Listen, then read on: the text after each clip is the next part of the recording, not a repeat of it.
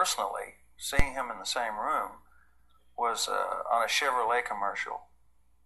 And uh, we had already had two or three top 10 records and had never really met. And they gave us a lot of money to do this thing, and I showed up. I had long hair. And I, I, and I will never forget the first thing he said to me. He said, Why don't you get a haircut? So he and I were sort of on the opposite side of the, I guess, political spectrum at that time.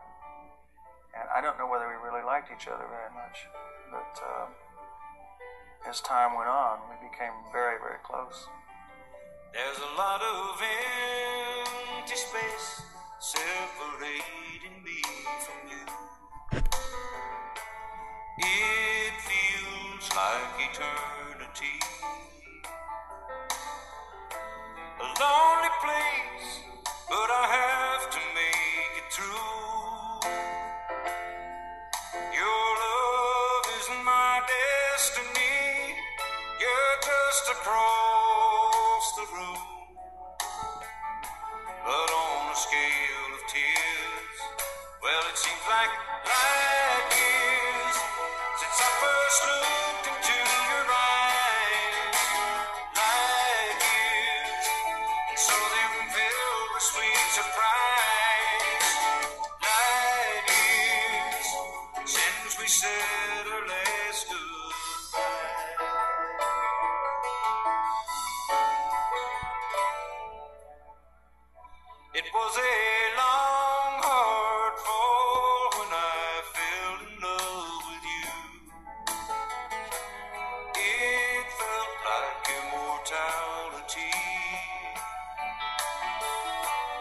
came as close to it as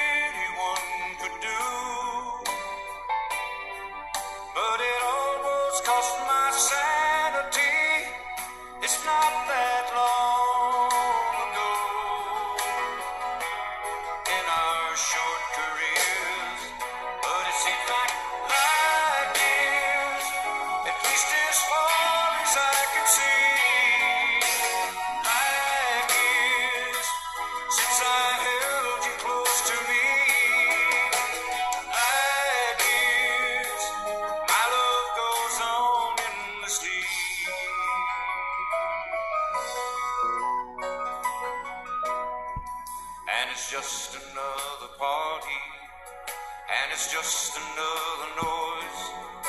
And suddenly our eyes meet, and you almost lose your poise. And in that fraction of a second,